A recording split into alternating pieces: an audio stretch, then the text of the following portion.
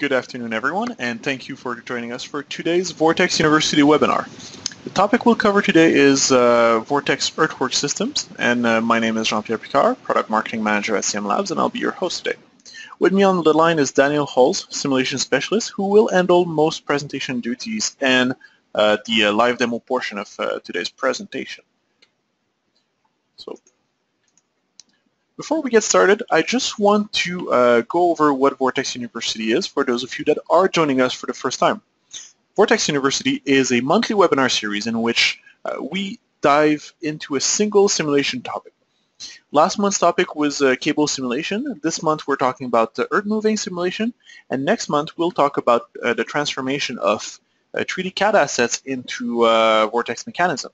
So these sessions provide you with a chance to interact with CM Labs simulation experts. If you want to keep track of the upcoming sessions, simply click on the link that you see on the, the screen right now, and we'll also send a link in the follow-up email provided after this session. We'll also include a copy of today's webinar, which we are recording, and uh, the uh, email we'll send. This email should be sent tomorrow or Monday at the latest. So today's presentation uh, will cover uh, the uh, different capabilities of Vortex Earthwork Systems, from equipment creation to formable terrain addition and scenes, and also uh, soil utilities which have uh, which uh, provide you with the capabilities to transform uh, collision geometries into actual hoppers. So we're going to go over through all of these into a few different sections. Um, we'll start by talking about the theory behind vortex earthwork systems. After that, we'll look at basic uh, tools and earth-moving zones. And then we'll look at some of the new features that were added with Vortex 6.6, uh, namely soil layers and earthworks utilities. We'll finish this presentation with a live Q&A, but if at any time during the presentation you wish to send us a question, simply use the uh, questions box on the right-hand side of the uh, GoToWebinar interface. You can also download the presentation materials and the Earthworks data sheet under the handout uh, box. So for those of you that are not as familiar with uh, Vortex, uh, Vortex is a real-time simulation and visualization platform. It's used for anything from virtual prototyping, testing a system of systems with operator in the loop, to operator training and operational planning. Uh, it's been deployed by hundreds of customers worldwide in all of these applications. Today, we'll be using the Vortex Editor uh, desktop application the Vortex Editor is the creation and validation application of uh, Vortex software solution. It allows you to create your scenes, your mechanism, and deploy them on a desktop simulation environment. So, without further waiting, let's get into uh, today's topic, uh, Vortex Earthworks, and we'll start with an overview of the uh, theory behind the, uh, the system. Daniel? Yeah, so uh, the Vortex Earthwork Systems module is one of many modules that you can purchase with the uh, Vortex uh, simulation um, product. Uh, so we have also vehicle systems and cable systems and also simulation of uh, oceans in the marine module. so today we're going to focus on the Earthwork Systems module. Um, the general idea behind the uh, Earthwork Systems module I'm going to present to you here in in uh, in a few slides. Um, uh, essentially, one of the biggest challenges in doing soil simulation for real-time uh, virtual training and design is that you have very limited time to do it. So at 60 hertz, you usually have a budget of about 5 to 7 or 10 milliseconds. If you take out all the time spent for doing collision detection with other entities uh, and the general uh, visualization in your scenario. So what we decided to do is to use an, a hybrid and adaptive approach, which um, adaptively introduces particles only where needed. So when you uh, create starting soil flow with your cutting tool, particles will be generated uh, at runtime and when they start settling they will be reintegrated into a grid. So this combines a mesh-free particle-based method with a grid-based simulation method which is really great because this way we can um, benefit from the strength of both of these models. So we can simulate dynamic soil as particles and static soil very efficiently as, as a grid. So all in all, that gives us a very good balance between performance, realism, and stability. As you can see here in that video, we are also tracking the compaction degree of the particles at runtime so that the fidelity of the simulation, uh, where compression, compression and compaction of soil matters, is also captured in our simulations. So when you are an operator uh, uh, in a in a simulator, you can do any sorts of operations. Obviously, um, you can compact uh, soil, cut soil, you can swing, uh, you can dump soil that is in the bucket. And in all of these situations, in order to provide a realistic training and design environment, um, the simulation engine has to provide proper force feedback on blades and buckets. So what we're doing is we um, use different te techniques in Vortex which uh, benefit from the core SDK, SDK functionalities such as contacts and uh, particle systems in order to add the forces required when cutting soil to the bucket and blade. So as you see here depicted in this picture, we have particle forces that are added to the bucket when cutting. Uh, the, the grid adds forces in terms of a constraint, um, which represents the uh, shear strength uh, of, and of the uncut soil and the particles also add surcharge forces in front of the blade which will make it harder when you accumulate more particles and more soil mass in front of you in a bulldozer and you want to continue advancing with your machine. So um, Vortex Earthwork Systems provides a few convenient uh, presets that allow you to simulate different types of soils. So we uh, provide clay, sand, loam, and gravel. And each of these soil types uh, have an effect on the shear strength of the material, the compressibility, and the soil particle dynamics. Um, one of the very important uh, emerging behaviors that we can also capture in simulation, as you can see here, is the angle of repose of loosely poured material. Um, Furthermore, when you start pushing with your bucket into the soil, you get certain elastic and plastic strains, and those differ from, from type to type of material. The visual aspects of obviously also are very important in an earthwork system simulation.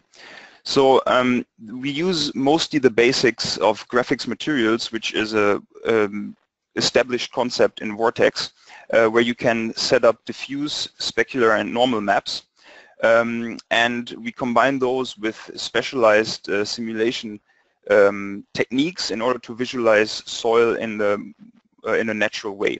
A height field uh, will be able to display a deformed soil texture when you start digging into it or when you when you dump material on it. Uh, and the soil particles are represented as 3D models. And when you start cutting or when you dump material, you will see dust clouds arising and additional particle spray effects that uh, will emit particles from the bucket while the soil is leaving the bucket. Thank you. Now, before we get into the live demos, I'd like to go over the different building blocks of uh, Vortex Earthwork System first one I'd like to talk about is soil bins. So what soil bins are is uh, they're basically containers that you can use to create non-diggable earthwork zones. For example, a truck bed. It allows you to add uh, a, um, a, section in your mechanism that supports uh, soil dumping and digging. So when you add those, uh, such as seen in the video here, your, uh, your truck will now be able to receive soil that is dug up by the second type of uh, building block I want to talk about, which is the earth-moving bucket. The bucket is modeled around an earth-moving excavator's uh, standard bucket. It provides a, diff a, few different parameters to uh, define how it uh, interacts with the soil. And what it does is it tracks the amount of uh, soil that was dug up and can then output it as a payload when you uh, deposit it in a uh, soil bin. There is an other moving tool that is available to be added to Mechanism, and that is the Generic Blade. The Generic Blade is a um, is based on user provided geometry and it allows you to push um, to push soil around. It doesn't track the uh, payload of uh, of uh, soil that is pushed around because it does not carry it inside uh, its container. Now this was for the uh, the different tools you can add to Mechanism to scenes, you can add earthwork zones, and earthwork zones are where you can actually uh, interact with the terrain, create the deformable terrain. And you'll, uh, as we'll see in the live demo in a second, uh, you define the height field, and then your zone can receive soil particle and can uh, be integrated with terrain graphics. So we're going to move on to our first demo, which is adding an earthwork zone to a uh, vortex scene And for this, I will pass the control to Daniel. Yeah, thank you, JP. Um, yeah, so as um, Jean-Pierre already mentioned, um, you can add earthwork zones to uh, existing scenarios in order to enable the digging uh, and deformation of soil. Um, and here I have uh, loaded a scene where you have some terrain already pre-created um, with a couple of props, some cones that define the area in which we want to dig. And uh, so now I'm just going to add an earthwork zone in that area. So you navigate to your terrain and you do a right click and you simply say add earthwork zone. And that's already enough. So now you have the earthwork zone appearing and you can conveniently position it by moving the dynamics component into the desired area using the 3D manipulator tools. And you can scale it as well to your liking. So it covers the appropriate area which you want to dig. So that's it. Now uh, also we want to be able to dig in it so there's a differentiation between dig zones and dump zones. If you take the diggable parameter now you can define some compaction, a compactness degree which is here termed in uh, um, represented as initial relative density. So we leave it like this and we'll choose a material that exists in our material table as for all other collision geometries in, in a vortex simulation. So if you start the simulation, you will see that actually you see nothing and that is absolutely expected because what you do not see here right now is the dynamics representation, the height field that is created. So this one has now just been created by the earthwork zone and so we are just a few clicks away from also seeing a visual representation of this. So let's look at the graphics component. So I'm going to stop the simulation again and I select the graphics component. And here you see, as I mentioned, that you can select a graphics material. Graphics materials, they come in Vortex in, in, in the form of graphics galleries. So here I have a graphics gallery that I added to my scene, and I have a um, appropriate graphics material, which you can see here. And now I'm just going to go back to my graphics component. I will select it and use an appropriate texture scaling factor. Also, you can use terrain upscaling, which will use, uh, use subdivisions in order to create a smoother graphical look on top of the dynamics. And there are some parameters that allow you to fine-tune the blending between the original terrain and the terrain visualization that will now be embedded when I start the simulation. So as you can see now, you see this white uh, outline here. This is still the collision geometry that I have displayed, so I'm going to turn that display off. And this is now the final result. Um, as you can see, you have the height field, which is now not visible anymore um, because it was uh, smoothly and um, um, seamlessly embedded into the original terrain surface. So now, in order to dig in there, I'm just going to add uh, an excavator. Let's do this. Add mechanisms from file. And here it is. So now this excavator was already pre-configured with um, earth moving tools. So it has a generic blade that you can see right here and a excavator bucket that was already predefined. I'm, I'm just going to position it appropriately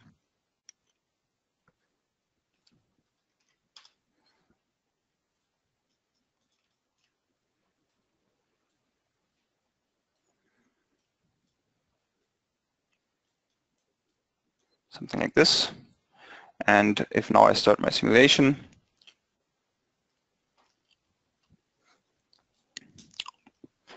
it falls a little because I positioned it too high. Now I am already able to dig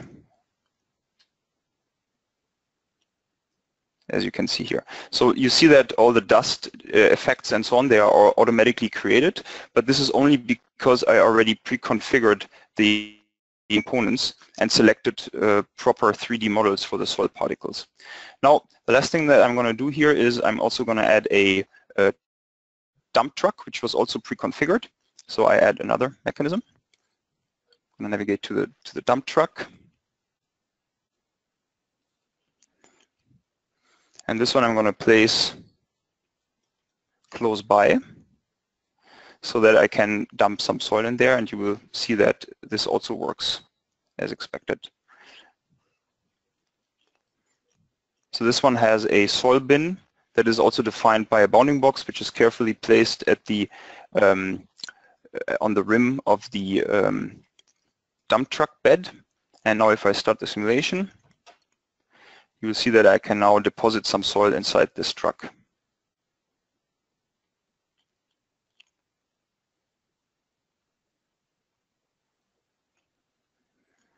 Picking a nice scoop.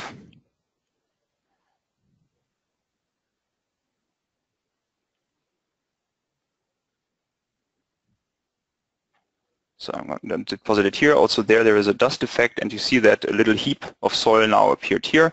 And so this uh, truck could be completely filled.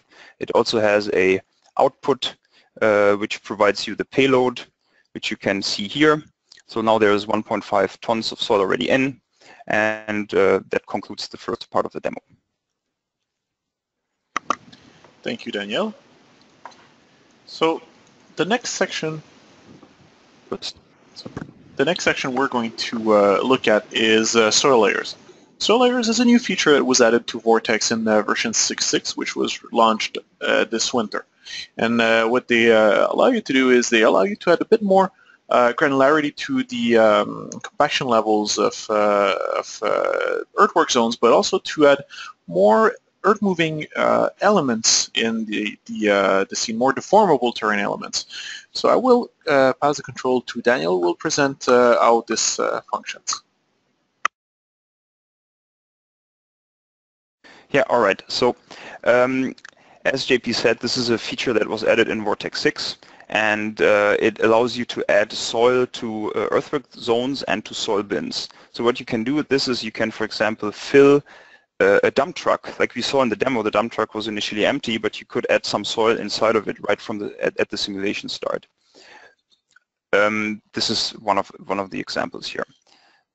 The other thing you can do is you can place a pile of soil uh, on an earthwork zone, or and this is very interesting, you can define a compaction profile. Each soil layer is defined by a geometry, which is here depicted in the dashed in dashed uh, lines, and uh, this uh, surface of this geometry defines the top uh, the top of the soil layer. If you you can stack them on top of each other and uh, assign different compaction degrees to all of them, so that you can really have, for example, a, a hard crust at the top and then some softer soil below, or vice versa. Also, you can define a hard rock layer, here depicted uh, as a circle, uh, which we will use also in the demo in order to place a concrete pipe uh, underneath the surface of the terrain. So this is a new thing that was added also with 6.6. We have now the ability to display the uh, layers that are created in a zone. Um, the coloring is uh, defines the compaction degree.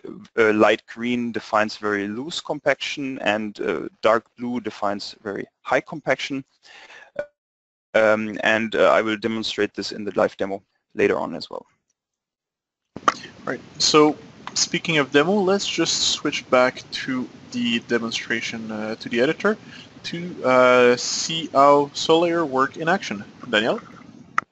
Yeah, thanks JP. So here I have already preloaded uh, a scene which contains the two equipments that I added earlier. Um, and now you already know the basic concepts here and now I'm going to show you how to add a, a, little soil pile on this earthwork zone. Like if I start the simulation now, you will see that um, there is nothing, nothing yet. You only have the truck and the excavator. Um, and now I'm going to show you how easy it is to using the soil layer functionality to add a soil pile. So here you see uh, a specialized mechanism which uh, was created which was created uh, just for the purpose of creating a pile. Uh, you can use any type of uh, geometry in order to define soil layers.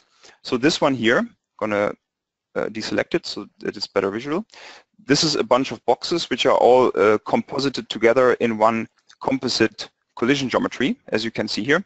And now I'm simply going to create a soil layer that will add a soil that has a shape that uh, looks similar to this arrangement of boxes what will happen is the height field will uh, be sampled uh, using these box geometries as an input. But as I said, you can use any type of geometry. So this could also be a triangle mesh. So now I just created, I'm going to redo this actually. I'm, i will create the soil layer conveniently from this uh, Earthwork Systems dropdown uh, right here.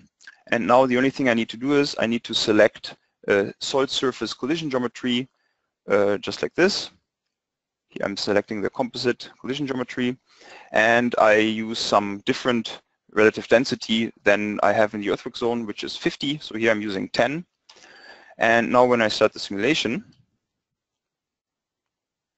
you will see that a pile of soil appears exactly where these boxes were placed. So this is where the boxes were. You see that the shape doesn't match exactly anymore. This is because the soil eroded.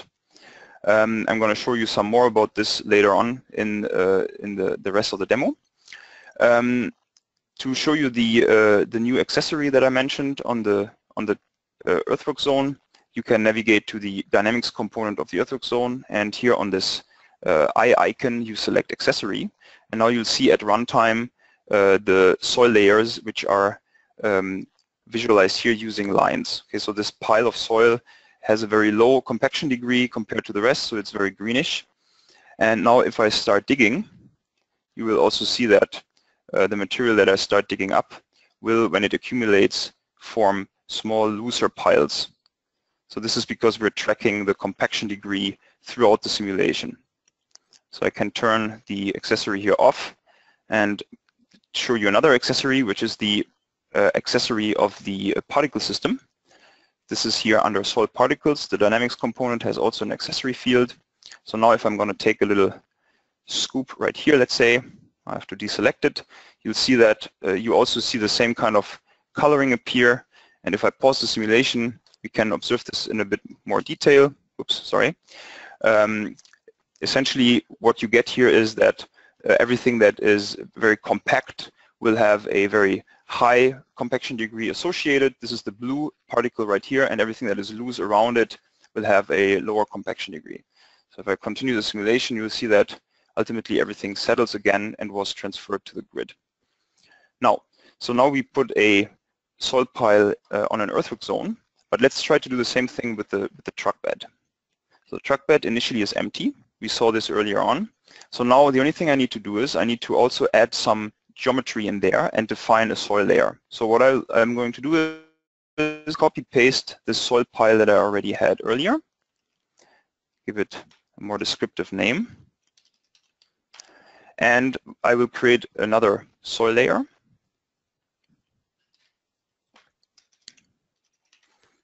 together with the pile. And now I'll take the soil pile and I'll move it simply to coincide, to overlap with the um, truck bed. So this is this here. So I'm going to carefully position this inside the truck, lower it a little bit so it doesn't overflow right from the start like this, maybe a little bit to the right. So, and now if I select this geometry in my new layer, like so, and here I will leave the relative density a little bit higher, and I start the simulation, you will see that now you also have some soil that appears right, right inside this truck. And you see this unnatural shape. This comes because from the unnatural collision geometry that we chose to initialize the soil. Um, so the height field really just samples the, the, collision geometry that you give it in its own parameter space. But now something that is really convenient that you can do uh, in order to simulate um, so soil that has a bit more um, uh, like less soil, less slope stability and that erodes a little bit more you can simply use a new input in the soil bin and earthwork zone uh, in order to reduce the shear strength uh, of the soil and make it erode. And I'm going to show you this right here. So this is a shear strength parameter which I exposed via a VHL interface. Actually, it is part of the truck bed that you see right here. The Dynamics truck bed has exactly this input, which now is linked to the VHL interface. And now I'm going to use that at runtime uh, in order to make the soil flatten out just like this. So you can dynamically change it. So if now I change it back to, let's say 20%, this would be a st stable slope for a 20% strong soil. Um, and that's that's it. That's really interesting. You can, for example, simulate mud with this, or you can simulate uh, other material like concrete, things like this, if you want to model a concrete pump. So the last thing that I'm going to show you here in this demo is how to embed a static object, again with the use of soil piles, uh, soil layers, sorry. So um, conveniently we have some sewer pipes lying around here, so I'm just going to copy paste one of those. And I'm going to move this underneath the zone, like here.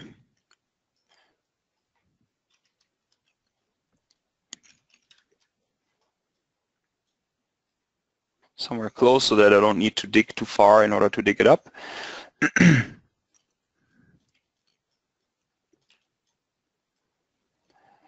so that looks about right. So this is embedded in the soil, not too deep so that I don't need to dig too much to demonstrate this.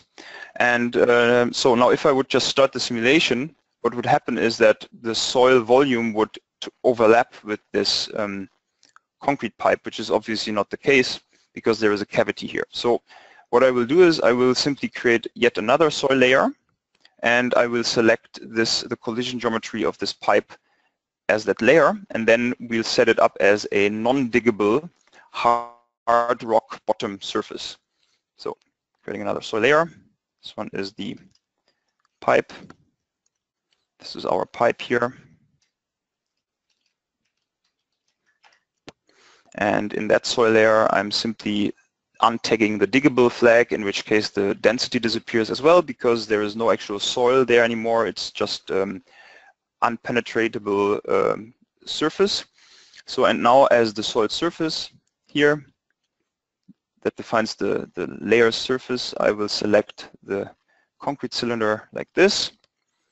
And now if I start the simulation, that's one it's going to be a bit hard to see, but uh, if I turn on the um, accessory of the zone, you can see that, it's the other way around, you can see that actually there is now a hole, but there are no layers right below this concrete pipe. I can also maybe quickly move it a little bit to the left, then it becomes more obvious. So I just move this thing a little bit to the left so that it sticks out. Like this, it's just sticking out. If I start now again, you'll see that with the uh, accessory again turned on, see that really here there is no soil, oops, sorry, in that area. Okay, so the soil layers accumulate on top, as you can see here. I'm going to go a little bit closer in. So there's some soil on top. So this I will now have to remove in order to dig down and to um, make this concrete pipe appear uh, from the perspective of the excavator. So let's try that. Turning off the accessory. Just so to visualize this a little better, I, I can select this, so this way it's transparent. and now if I start digging, you'll see if I don't watch out, I will have really high reaction force. Now I can't continue digging anymore because I'm really colliding with the concrete concrete pipe. And if I continue, oops, now I put some soil back. Let me try that again. Oops, so there, there was, I didn't watch out at all, so I had some really high reaction force there, and you see that, ta-da, now I'm actually revealing this concrete pipe right here. I can also let the soil flow now, it will cover it again a little bit, and yeah, so I can really now go in and uh, have a very, very advanced training scenario where the excavator operator would have to watch out not to damage the machine when trying to uncover this uh, concrete pipe right here. And that concludes the demo. Thank you, Daniel. So this brings us to the last portion of today's presentation, which will uh, discuss the um, earthwork utilities that are available with uh, Vortex 6.6. So this is some uh, more advanced uh, matters again, uh, some uh, for uh, some more complex scenarios. So we'll do a uh, demonstration in a few minutes that will show you can use these to simulate a soil hopper. But before we move into that, a bit on the different utilities available. Daniel? Yeah, thanks. Um, so just going to give you a quick overview of what's available now in Vortex 6.6. Uh, so first of all, you have the soil emitter, which allows you to add um, material to your simulation uh, through an emitter, with, uh, other than using um, a blade or a dig tool and a zone as a source of your soil. So you can attach this emitter to some moving objects like some uh, concrete pump hose or a funnel and let uh, material appear in your simulation dynamically. Um, alongside with this goes the soil culling geometry, which allows you to remove those particles or any other particles that are generated uh, when they touch a certain object. So we're going to use that in the demo uh, later on. If you if you look at the bottom, you see the soil culling monitor, uh, which measures exactly the soil mass that is culled by the soil culling geometry. So those two go hand in hand. Uh, on top of this, we have some other interesting tools. For example, culling uh, particles using the dynamic soil materials extension.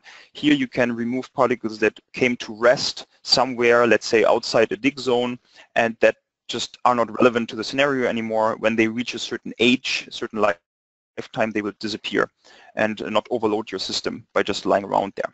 The, the soil mass sensor is also very interesting. It allows you to measure soil both inside the height field and in, uh, in shape in, um, in the form of particles inside a special, uh, specified bounding box.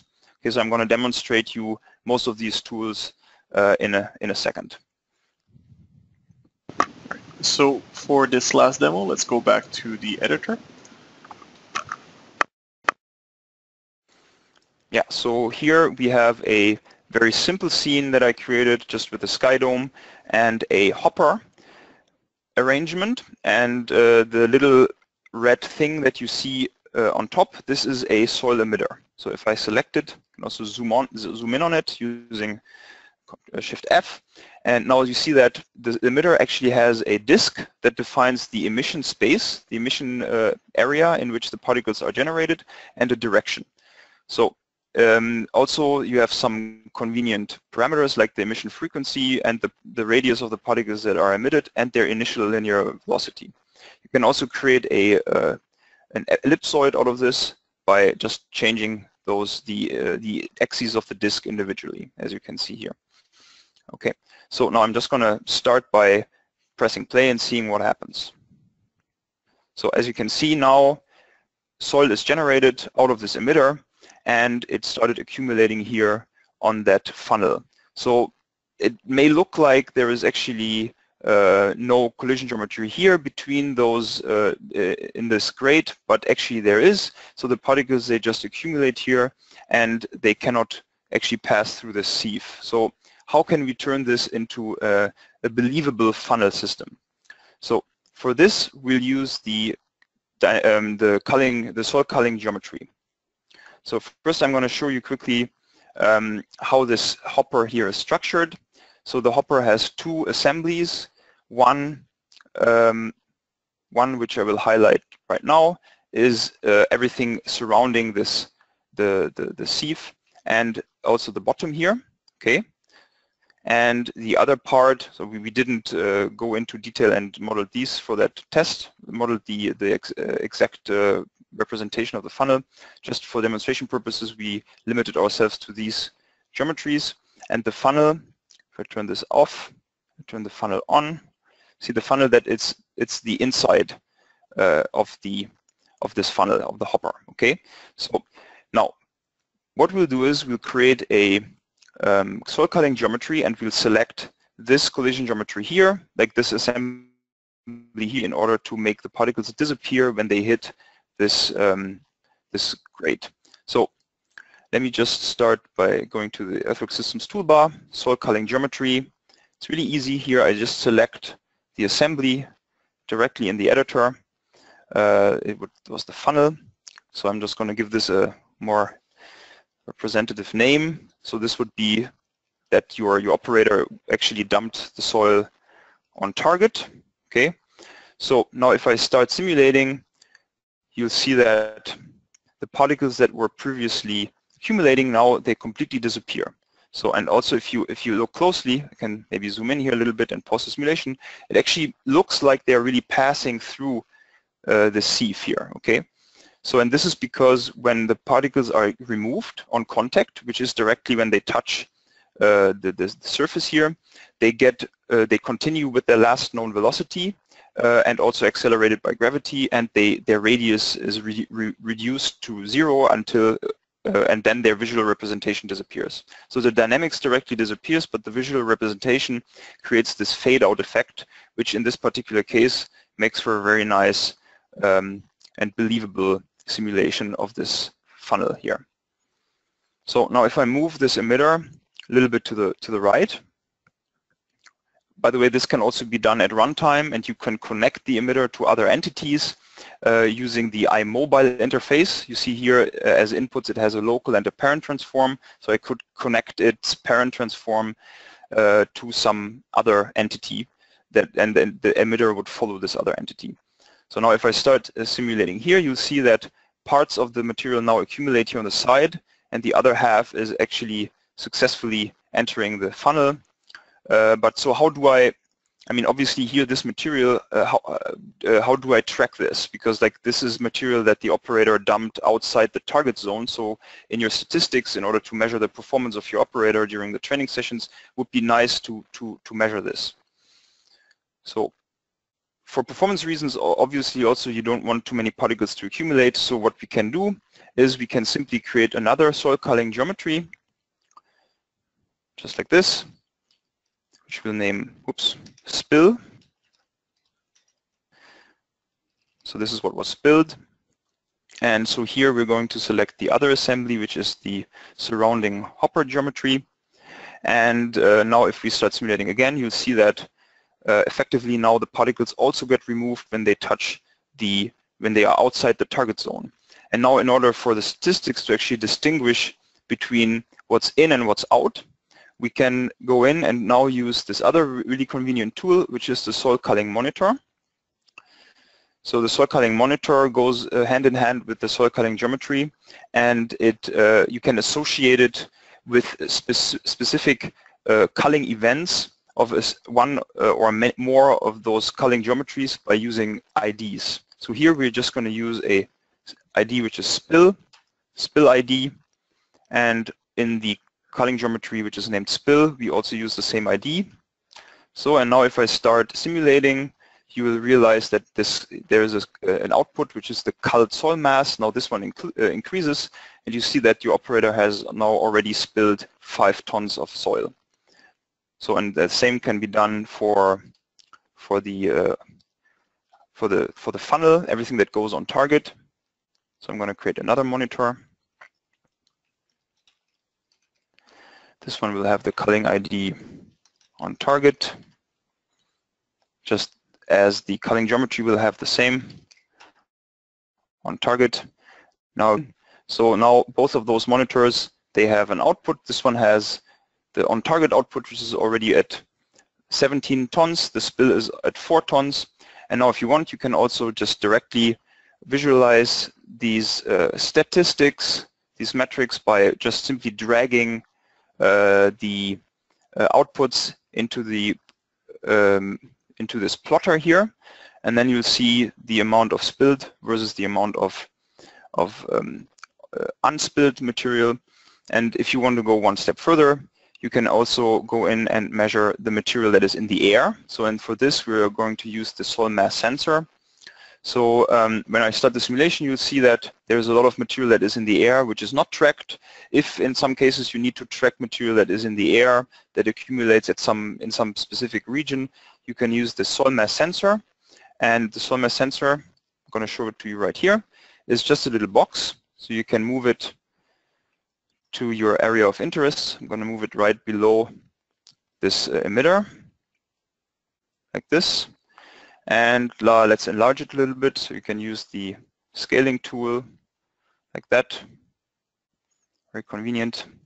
And now if I start emitting, you'll see that it, if I turn the accessory on, you'll see that everything that passes now through will be tracked. And here you have an output which now changes. It also knows how many particles are currently inside here. This is about 500, 450 particles.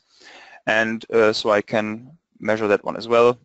And you'll see that this one is relatively constant, as you can see here, as opposed to the spill which which keeps increasing. So, and that's all for this last demo. And I'm handing back to JP. Thank you, Daniel.